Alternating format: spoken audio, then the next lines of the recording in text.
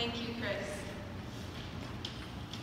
Hola, me llamo Raizel. Soy un estudiante en el grado 12 at Bay High School. Proficiency in speaking more than one language is an invaluable skill in both relating to other people as well as learning about the world. I have found that since I first started studying Spanish, I have been able to connect with new people, learn new things, and truly experience new.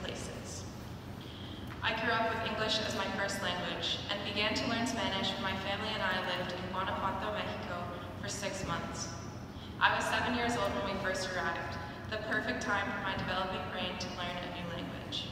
My parents immersed us in the culture, I attended a local school, made friends who spoke Spanish, and my family became involved in the community.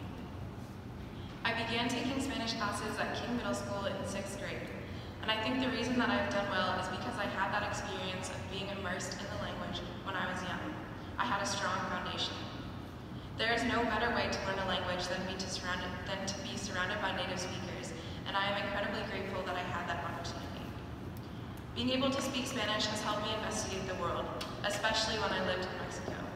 I remember my grandmother coming to visit us in Guanajuato, and my brother and I took her to the local tortilleria. She was so amazed that we could ask for what we wanted, order our tortillas, get change, and conduct the entire transaction smoothly and easily. At that point, interactions like these seemed normal. We'd begun to feel part of our small community. Last year, I had the opportunity to participate in an internship at a local tortilleria.